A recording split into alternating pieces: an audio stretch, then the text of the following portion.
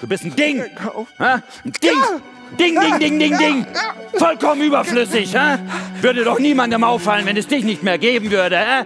Platsch einfach weg. Kaputt treten sollte man sowas. Kaputt treten. Hör auf, du tust mir weh.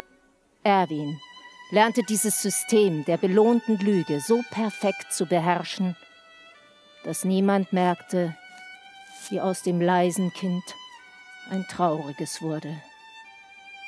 Und er wurde unberechenbar.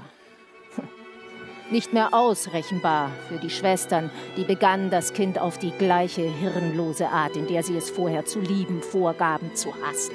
Früher ist es ein Junge gewesen und hat Erwin geheißen, stimmt's?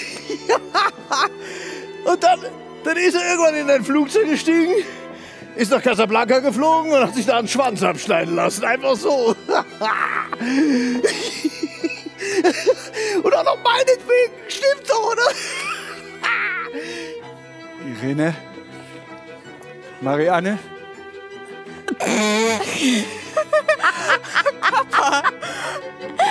siehst du denn aus? Was ist mit dir passiert? Du weißt doch, dass ich dich immer gemocht habe. Dass ich dich mag, dass ich dich immer mögen werde, lieb haben. Aber es ist zu spät.